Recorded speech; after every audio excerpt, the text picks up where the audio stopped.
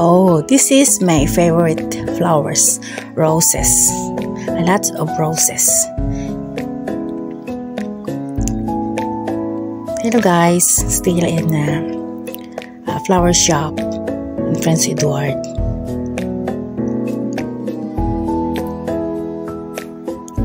Oh, o, diba ang ganda no? Iba't ibang color.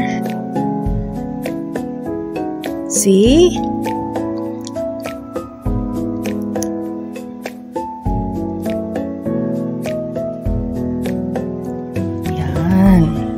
Yellow.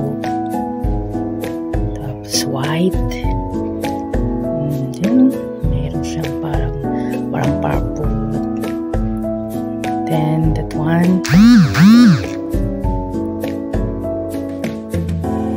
Diba? Ang ganda-ganda, no? Yan yung mga ng flowers every Christmas. Meron siyang red, meron siyang pink. Yan naman mga orchids. Iba-iba. Ito yung cute to. Napaka-cute niya.